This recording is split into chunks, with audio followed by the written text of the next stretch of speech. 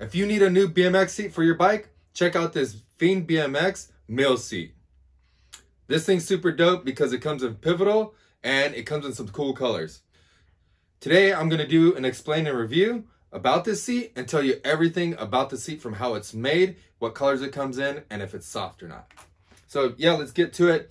Uh, if you don't know who Lewis Mills are or is, uh, you're definitely definitely living under rock. He's a new up and coming rider. Uh, definitely hit the pro circuit, and he's just absolutely killing it. Has an awesome style, does amazing tricks, and he's got a signature line that's been coming out, and uh, it's just been crushing it. So this seat is his signature seat, and it kind of fits everything he's doing, and it definitely helps him out uh, riding and stuff like that. Um, I'll tell you how it's made. What this seat is made out of is an, a leather top. Um, it's sewn together in three different pieces. And how they sew it, let me pull this card off real quick.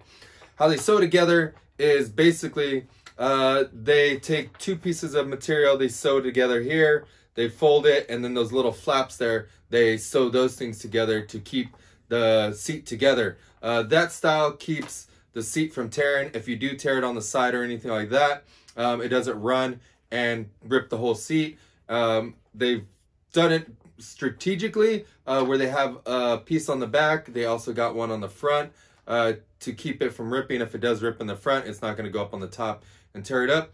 This thing is a pretty soft leather leather top. Uh, the cushion is a little bit firm, but, but as you ride it, it will break in. It will make it a little bit softer. So uh, expect it to break in and get a little bit softer. Another cool thing that I noticed is that it has a little hang tag right here. And this thing's red and white nylon uh, little tag on there. That thing looks super sick. It also has a custom Lewis Mills uh, rubber patch right here. And this rubber patch allows you to put a hex, hex head tool in there.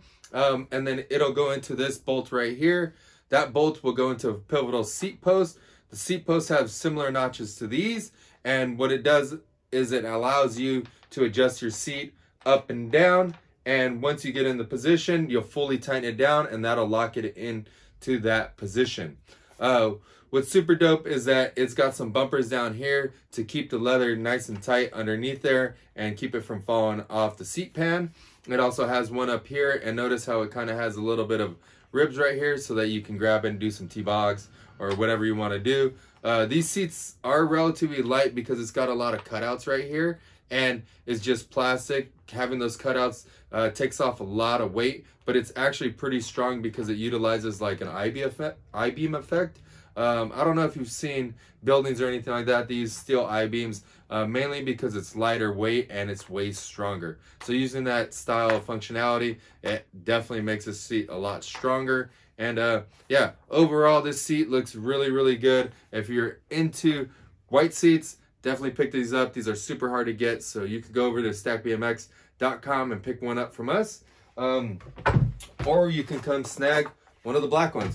The black ones are pretty dope. I think this is going to be one of the better sellers just because black always sells really good. And it has red print right here and it just looks super, super dope. So go out there, support Lewis Mills, support Fiend, and all the dudes uh, rocking their stuff. So peace out. We'll see you next time on our next explain and review.